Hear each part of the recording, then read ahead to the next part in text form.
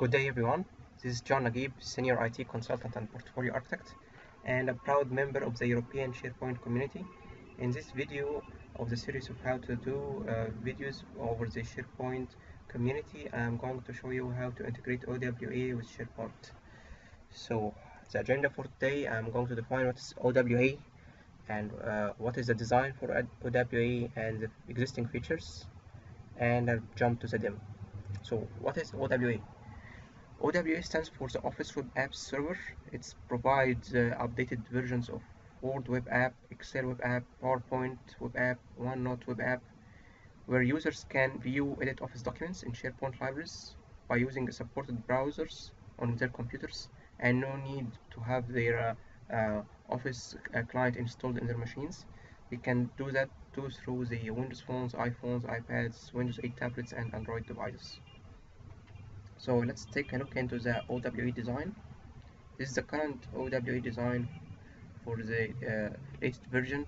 We are having in the middle Office Web App server. So this can be a single uh, uh, server or it can be multiple server load balanced and it acts as a one farm and other technologies connecting to it to consume it. So we see in here each box of those uh, in blue is uh, several uh, SharePoint farms and each of those farms is, is bind to this web app uh, OWA uh, farm.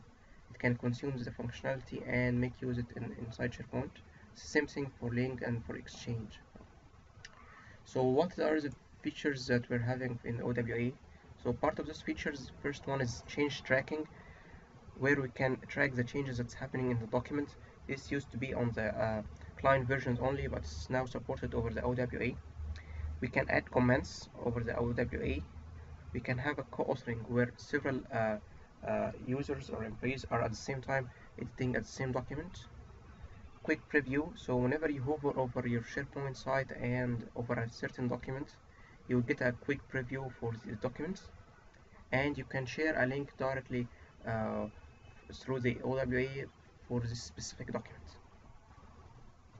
So let's jump into the demo. Let me go to my OWA machine in this architecture uh, um, I'll be showing you in here we are having two machines one which is OWA and the other is SharePoint. So in OWA we need to do uh, some steps at the beginning and then we can go to the SharePoint and do another step.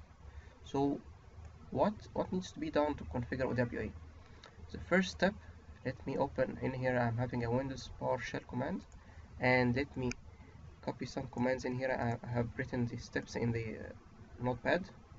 First thing is set the execution policy to unrestricted.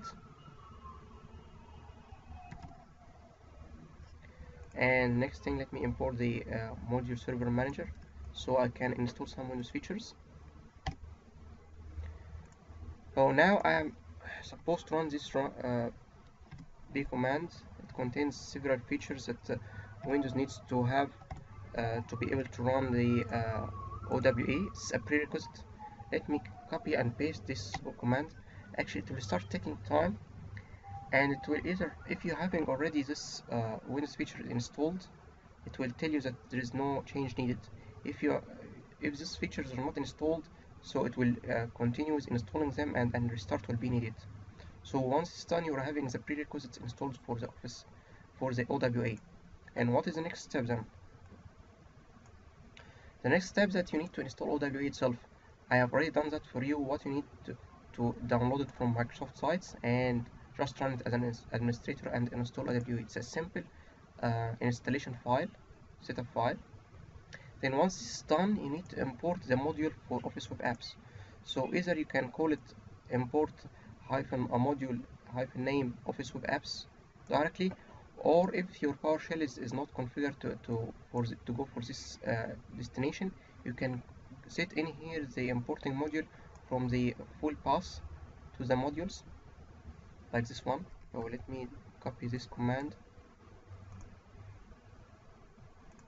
and go to the PowerShell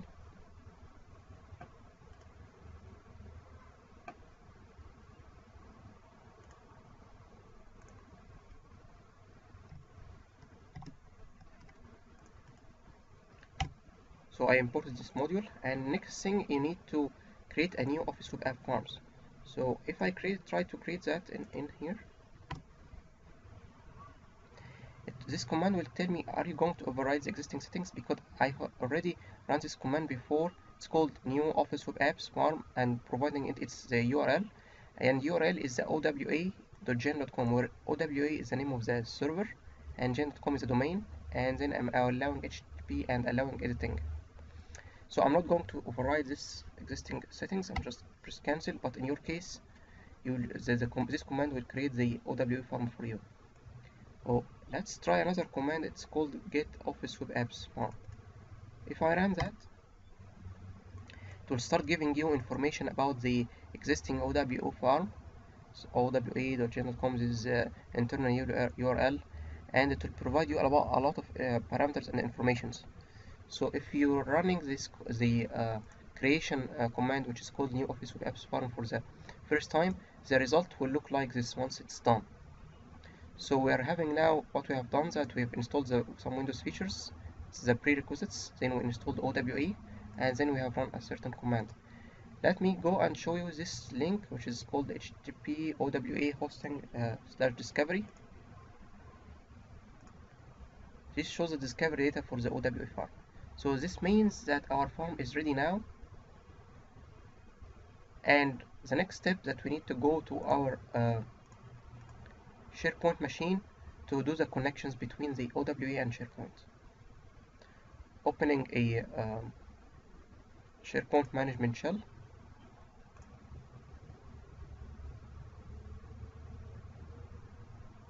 Running it as an administrator. And let me do, let's see the PowerShell command in here. And cleaning all the data in the uh, shell console.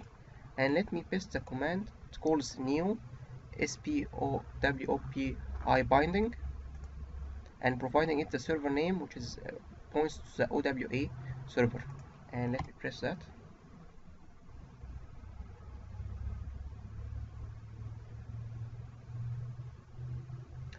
Okay it, it finished. And what it has done that it binded the SharePoint farm to the OWA farm and provides several informations in here about the every type of, of the documents Word, Excel and OneNote and etc. So what we need now to go uh, to test it we need to go to the SharePoint uh, document library and make sure to log in with your uh, user don't try to connect using farm account or system account because if you try to log in with system account or farm account you'll receive error whenever you're trying to access documents you need to access it with, with a normal user. Let me do a refresh to this page.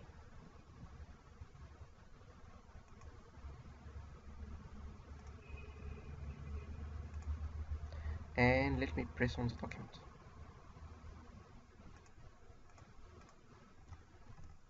Okay let me do another refresh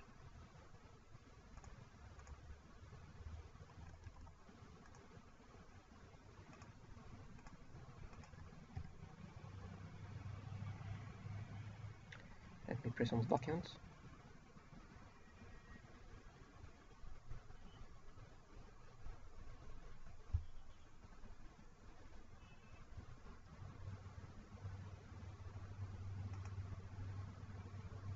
well it started opening the Word web app